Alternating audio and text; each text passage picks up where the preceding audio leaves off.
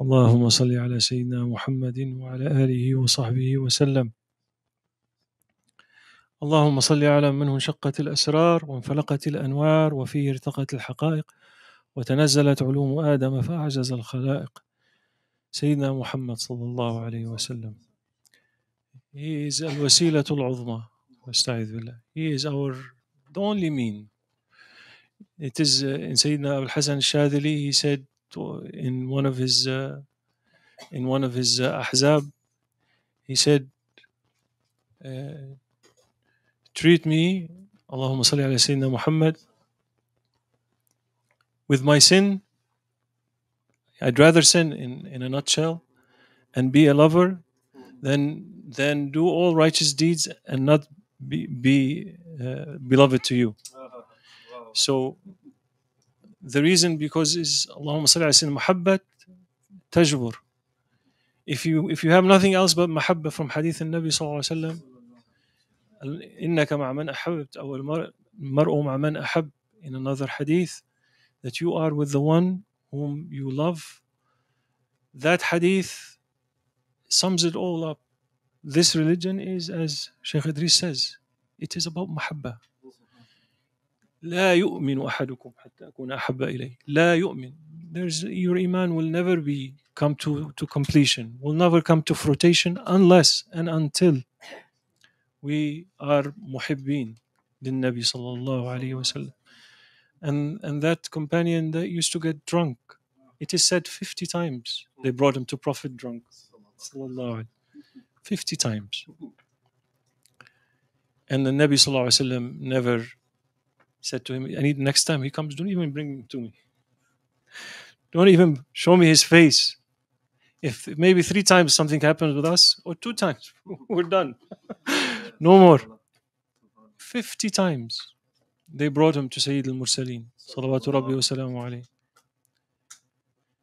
And he would apply the the punishment, and the next time he will go. And then they bring him again. And look at the mahabba because prophet ﷺ testified testified that he that that person with all his shortcomings and we are akhir zaman people. We have nothing but shortcomings. It's not like we, we have any anything to claim. May allah forgive us all. But that person gives us all hope and and makes make us not hope make us also gives us wish that ya rabbi such such mercy and such love and such beauty. That person, even when he's drunk, he's coming to the Prophet. Even he has that weakness, he has that intoxication, he has that addiction, but still, when he, even when he gets drunk, he ends up at the, at the door of Sayyidina Muhammad. He could have he could stay wherever he is and sleep it over, but he goes to Prophet. Sallallahu alaihi wasallam until one of the companions was fed up and he says, Allah curse you. He said, La'anak Allah to him. And how many times you gonna come and do this? 50 times? Have you no shyness? And Prophet was upset. His face changed. He said, Don't, don't curse him. By Allah, he loves Allah and his Prophet mahabba. He said that love is bringing him here, and he loves Allah and His Prophet. It's enough.